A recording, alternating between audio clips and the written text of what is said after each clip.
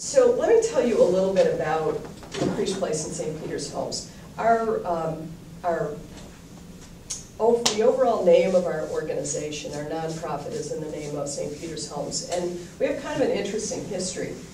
Um, in the, in the early eighties, uh, the St. Peter's Episcopal and St. Peter's Catholic churches came together. And they decided to form a nonprofit that they called St. Peter's Homes. And their intent was to uh, to buy distressed properties, homes, uh, give them, uh, give them to homeless families, fix them up, give them to homeless families with an idea that they would um, either kind of pay, pay back as a lease or a mortgage uh, to the church. Problem was that what they discovered is what we all know now, and that is that people who are homeless are not homeless because they don't have a place to sleep People are homeless because they can't navigate the culture in the way that the rest of us have been able to. I may say, Um, repeat that, please. People are not homeless because they don't have a place to sleep. Uh, people are homeless because they can't navigate our culture in the way that the rest of us have been able to. And so um, for people who are chronically homeless, if we don't wrap supportive services around them to help them to stay in stable housing, then they cannot be successful.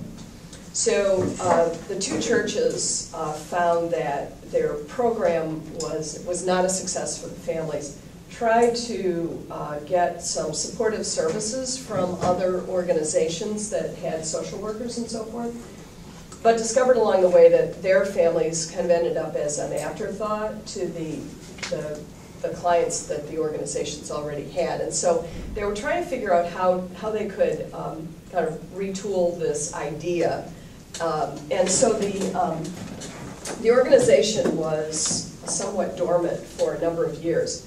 And in the meantime, there was a group of people in Charlotte who were aware of a model called single room occupancy, SRO, that was a solution in, that had been a very successful solution in other communities for uh, successfully ending homelessness for, a, for the group of people that are the most fragile and the most vulnerable. So um, they were, there was a, a, a, small group, I don't know, six or seven, eight people, something like that, who were trying to figure out how to, how to get a single room occupancy built in Charlotte. So um, the so we had this nonprofit St. Peter's Homes, and we had this group of people that was trying real hard to get a single room occupancy built. And then all of a sudden there was some um, there was some HUD money that came available, and uh, Dale Mullennix, who's from the Urban Ministries, uh, discovered this money and was looking for a nonprofit who would be willing to uh, develop and build a, SRO. So um, all of these things kind of came together and uh, the uh, CHA, and I have to I have to give a nod to Joel. I'm glad that Joel's here, and uh, Charlotte Housing Authority is a is a very very big supporter of ours, a really great partner, and uh, without CHA we would not absolutely not be able to do our work. So.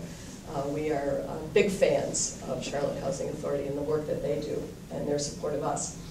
Um, so CHA Housing Trust Fund um, it all came together and um, after a little bit of wrangling with the neighbors, uh, as you can imagine, um, the uh, McCreesh Place was built and it was named after Father McCreesh, who um, I, am sorry to say that I was never able to meet. Uh, he passed, uh, it'll be 10 years this, this December, uh, but was a huge supporter and advocate of helping people who are homeless. And uh, I've heard stories about him that he's one of those people that if somebody called him in the middle of the night and said, there's somebody that needs to be undercover, he would bring them home. He would go get them and bring them home.